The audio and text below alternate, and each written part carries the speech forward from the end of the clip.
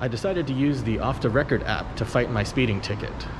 And Off the Record claims a 97% success rate if you use their app to fight a speeding ticket. And they even offer a money back guarantee if you fight the ticket and lose. Sounds like a no brainer, right? Well, apparently, their definition of success may not match up to what you or I might consider a win.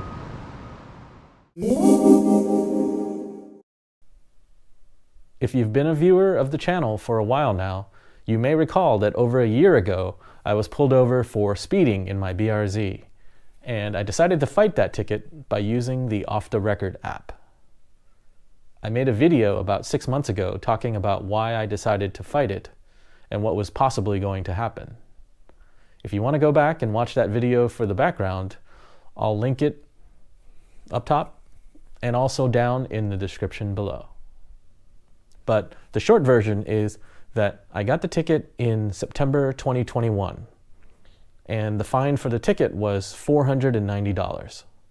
So I decided to take a chance and fight it, and at the same time, try the Off the Record app because I saw ads for their service and they claim a 97% success rate. And they offer a money back guarantee if you lose. So I figured, why not give it a try? What do I have to lose? So I paid a little under $180 to Off the Record to cover the attorney's fees, and the attorney they matched me up with took over fighting the ticket for me. I didn't have to go to court, and I didn't have to pay the $490 up front. They requested a trial, and it was set for January 2023. So I basically sat back and waited for the past year and four months. And this month, my attorney got back to me and told me what the outcome was. And it wasn't good news. I'm guilty and I have to pay the fine. Now, basically, we were banking on the hope that the CHP officer who gave me the ticket wouldn't show up to the trial. I talked about the possible scenarios in my previous video. And unfortunately, it didn't work out for me. It turns out he did show up in court that day which means very likely losing if we went forward with the trial.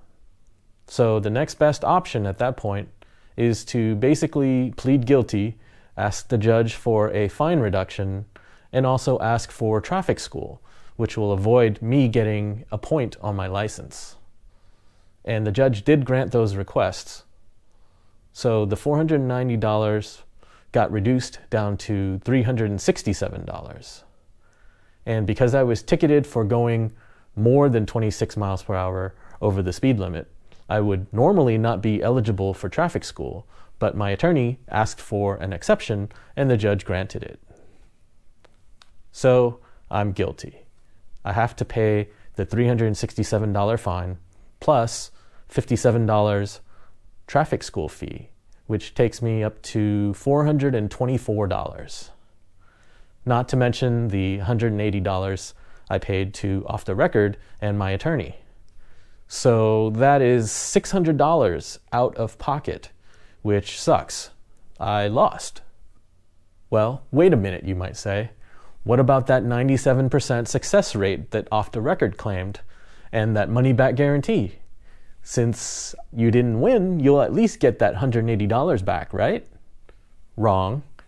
You see, you have to read the fine print on Off the Record's website to understand how the refund policy works.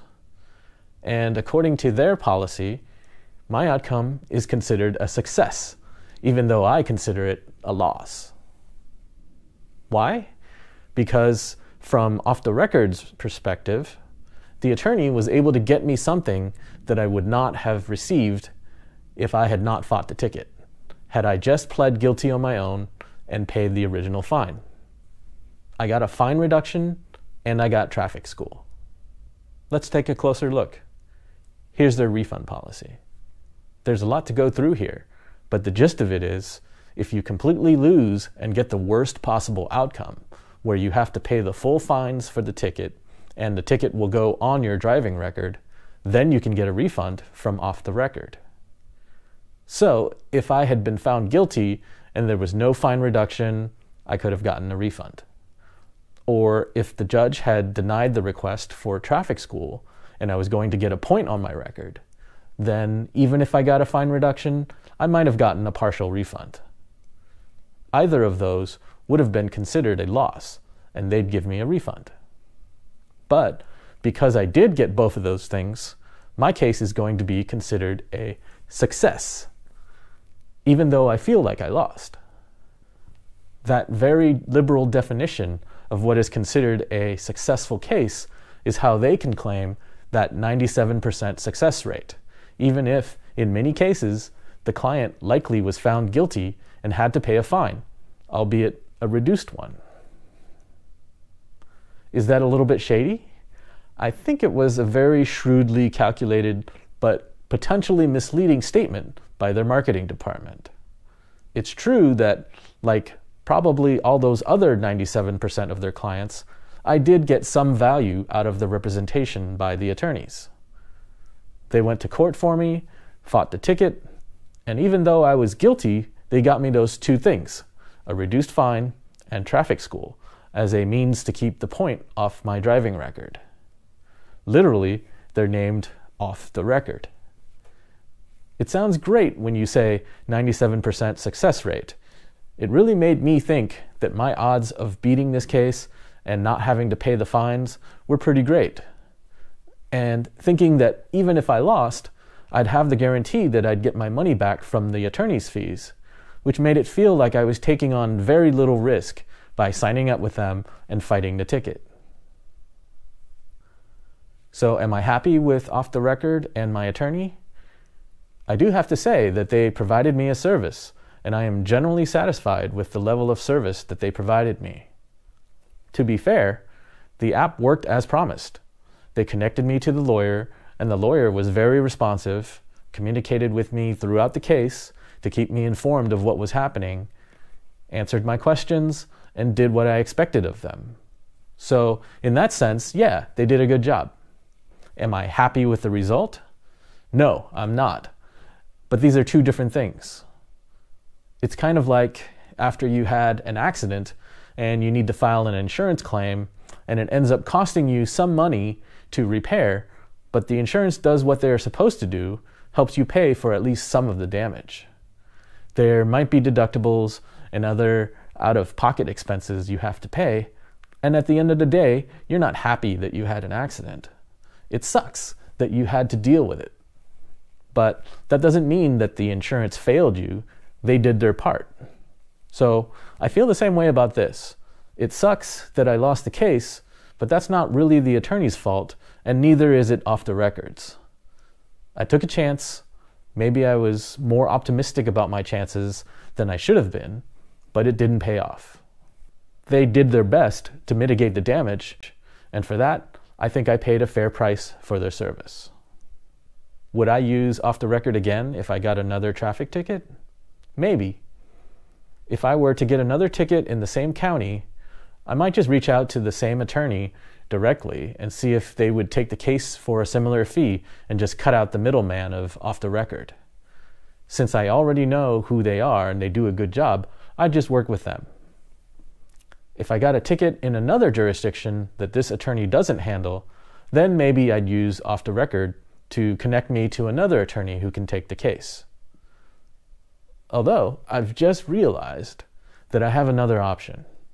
I just recently enrolled in a legal plan offered by my employer that I believe would cover me for traffic and speeding tickets. It just went into effect for me at the start of this year, and it's kind of like an insurance plan that gives me attorney assistance for almost any kind of legal issue. If you work for a company that offers that kind of legal plan, you might want to look into it as well. My wife and I decided to get it because it will also allow us to set up some estate planning documents like wills and trusts. But I was pretty glad to see that it would cover tickets too, all for one flat fee each year. It is a little pricey, however, we're paying about $500 for the plan this year. Like I said, we're also going to use it to set up a will or trust, so it made sense to sign up. It might not make sense to continue subscribing to the plan next year, unless we expect to need legal services again in the coming year. I wouldn't pay for the plan if the only purpose was to cover potential speeding tickets. So, there you have it. That's my experience with Off the Record. I am disappointed that it didn't work out for me. I definitely didn't get the ideal outcome from doing this. Will I still try to fight any future traffic or speeding tickets? Yes, I think in most cases it makes sense to fight your tickets. You want to keep these tickets off your record and keep your auto insurance rates as low as possible. If you're eligible for traffic school and the fine is fairly low, maybe lower than the cost to hire an attorney to fight it, then maybe you can just pay the fine and do the school and be done with it.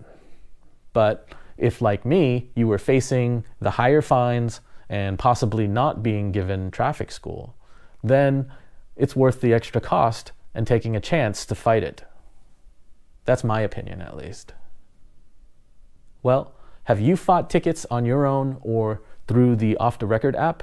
How did it go for you?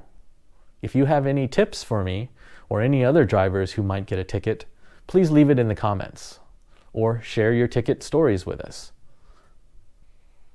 Okay, take it easy and I'll see you in the next video. For now, it looks like I've got to go sign myself up for an online traffic school so that I can put all of this behind me. Drive safe, everyone. I fought the law, and the law won.